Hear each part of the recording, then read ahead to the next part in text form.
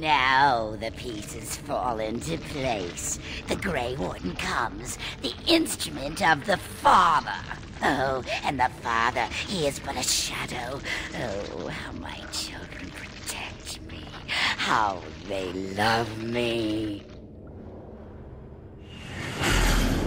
I have told you many times, Mother. I am not the Father. I am simply the Architect. It does not change what you are. You took away that beautiful music, left us with nothing. It was a mistake to free you. It has left you with madness. I am truly sorry.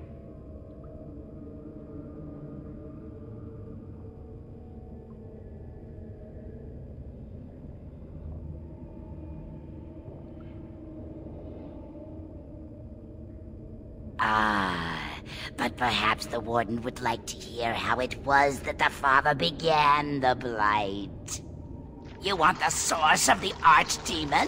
The one who brought all our kind to the surface? Here he is! Well, paint me green and call me a turnip. Ah, there it is then. Unfortunate. I did find the old god, Urthemiel, but I did not wish another blight. I attempted my joining ritual. My hope was that this would free all Darkspawn, unravel the curse from its source. Alas, I was unlucky.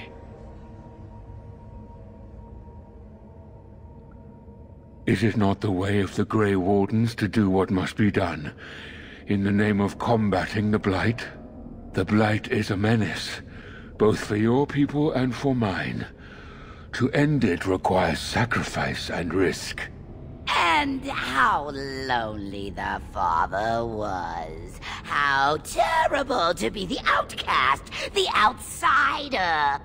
He claims he wishes the Darkspawn to be free, but what he truly wants is to correct them. However you feel about what I have done, the mother is mad. She cannot be allowed to...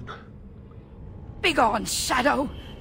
You the mother any more than you already have. And now the hero is alone. Oh, the mother knows your ways. You will not let her be, no, not after what she's done. So it must end. It all must come crashing down! Perhaps we will hear the song again when we die. Oh, let it come. Let it come.